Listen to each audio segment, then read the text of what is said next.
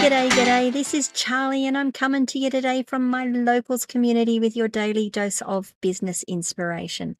Come on over and join the community for free and watch the conversations as they're occurring become a supporter for $2 US and be able to interact with the content, add your own thoughts, create your own conversations.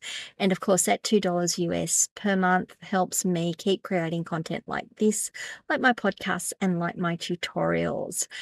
I want to get on to today's daily dose of business inspiration with a twist though. It's Mother's Day here in Australia, Sunday, the May, May the 12th. Uh, it's Mother's Day, what can I say?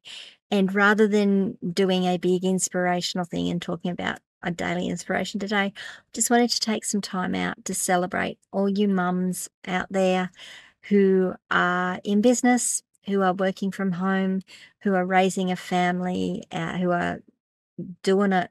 Yeah, you're out there, you're doing it. You're trying to build a, a, a life for yourselves, a different type of life to a uh, nine to five work life it's hard work. And I want you guys to take some time today to celebrate what it is you're achieving.